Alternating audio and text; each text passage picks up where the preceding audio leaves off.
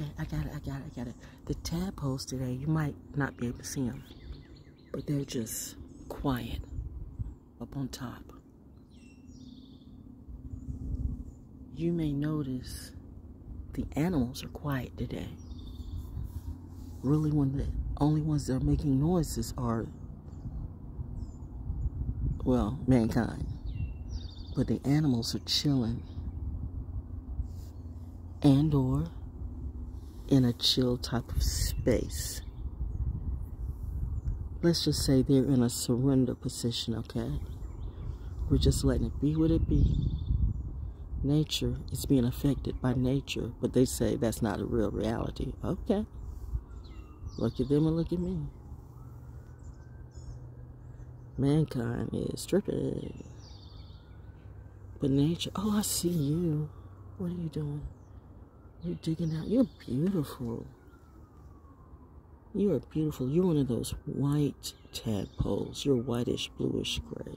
You can't see it. It's right there, okay? I was going to go on a walk, but they said, no, the pond is beautiful today. And they were right. This is my church. This is my peace. This is my sanctuary.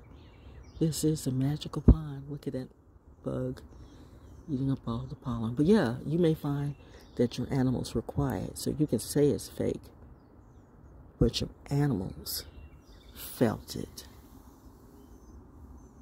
And you say it's not that way. Look at that dragonfly. The dragonfly and the bees. Mommy says, see how nature is like staying around you, like hovering around you. That's your message, baby, from us. I got it. Thank you.